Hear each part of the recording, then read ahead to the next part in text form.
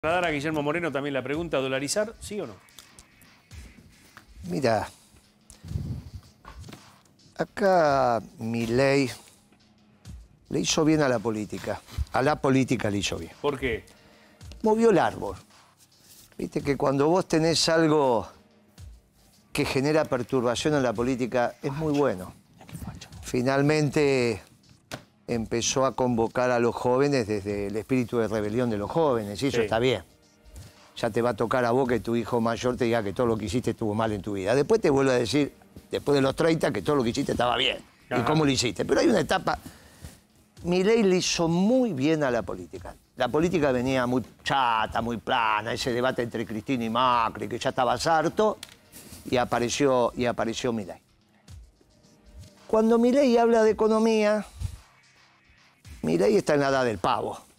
Pibe que no se baña, no se corta el pelo, se pelea con todo el mundo. La edad del pavo. Ya vas a tener hijos también en la edad del pavo, ya lo tuviste. Sí, sí, sí. Viste, yo decía, aguantate La pubertad. aguantate la, la edad del pavo. Aguantate que está en la edad del pavo. Ahora, los votos se le fueron consolidando.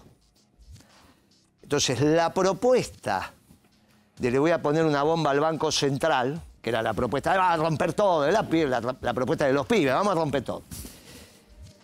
A los primeros que no le iba a ir ese tema eran los banqueros. Ellos vieron que se le consolidaba el voto y entonces resolvieron hacerse cargo de Milei. ¿Cómo se hicieron cargo de Milei? Le pusieron a Roque Fernández y a Carlos Rodríguez, que ya no es la escuela austríaca, no es la pubertad. Consenso de Washington. No, no, no, no. Eso es mucho más, más profundo que el consenso de Washington. Eso es serio. Eso es Chicago. Ajá. Esa es la escuela de Chicago. El consenso de Washington es la escuela austríaca. Ah, ok. Esto es Friedman. Ah, ok. Esto es serio. Roque Fernández, Carlos Rodríguez, el SEMA acá, Claro. en la Universidad del SEMA. Eso es serio. Te puede no gustar esa Argentina, a mí no me gusta, Claro. pero es serio. Entonces, ¿qué es lo que empieza a pasar con mi ley? Ya lo vivimos esto. De a poquito se va a ir cortando el pelo. De a poquito lo vas a ver peinado. Le van a cortar las patillas. Va a dejar de usar campera y se va a poner el saco. Ya no es mi ley. La escuela austríaca no tiene nada que ver, pero nada que ver con Chicago. Por eso te digo, Milton Friedman es un tipo serio. Milton Friedman que te decía, para saber algo de economía, 15 años de graduado. No me venga con unos numeritos. Pero vos estás diciendo que Milei de alguna Ahora manera... ya es otro Milei. Pero digo, Milei se está encaminando a una situación o a un modelo, o está tomando Dejó- forma el modelo Milei. Dejó de ser mi ley. Ahora es la escuela de Chicago. La escuela- ¿Y la escuela de Chicago qué quiere para la economía? Muy bien. La escuela de Chicago hay una diferencia central con el peronismo. ¿Cuál? Nosotros miramos la economía desde el trabajo y ellos lo miran desde la moneda. Desde el mercado, la moneda. No, no, es- no eh, digo lo que digo. Si vos me incorporás palabras, La moneda. claro, yo dije eso. Para mantener la conversación tan seria, no incorporemos palabras que... Mercado es cuando vos vas a hacer las compras y compras el pan, esta mañana. Bien. El panadero es el mercado para vos.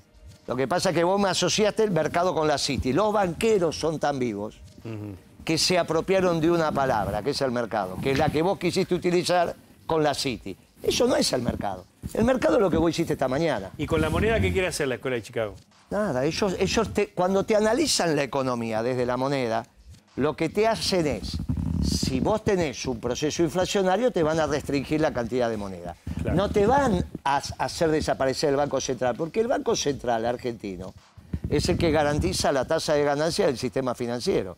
Cuando los banqueros dijeron, este tipo me quiere hacer desaparecer la que me garantiza a mí la tasa de ganancia, yo te digo a vos, es lo mismo que le diga a los periodistas que a partir de ahora están prohibidos los diarios, los medios, todo. ¿Y vos decís, ¿de qué voy a trabajar?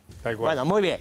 Entonces, el Banco Central, salvo nuestra gestión, en todo el siglo XXI se dedicó a garantizar la tasa de ganancia del sistema financiero, especialmente en este gobierno y en el gobierno anterior. Por eso todo el mundo hablaba del sistema financiero. Esto te, da- te das cuenta con la publicidad. Cuando vos tenés mucha publicidad de bancos, es porque te está yendo bien. Y a la economía, a ellos. Y a la economía le está yendo mal. Lo que hace la economía de Chicago es mirarte la economía, lo que los economistas llamamos debajo de la raya. Arriba de la raya, el trabajo. Debajo de la raya, el dinero. Ojo que en esto hay una alianza objetiva, y a vos te va a sorprender lo que yo te digo. pero con el residuo del, marxista, del marxismo del principio del siglo XX, que es Lenin.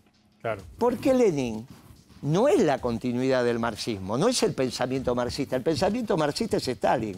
Por eso cuando los banqueros le financian el viaje de Lenin, para terminar con el zar, lo que empieza a aparecer ahí es el reinado de los banqueros, que te empiezan a explicar algo muy importante y que está en tu sentido común. No se puede hacer negocio sin plata. ¿No te explicaron eso a vos? Claro, claro. Ah, muy bien, pero para, para que no termine. Es mentira eso. Por eso, cuando vos a alguien te dice que sin plata no se puede hacer negocio, te está mintiendo, porque en la historia del capitalismo, primero están los negocios y después la plata.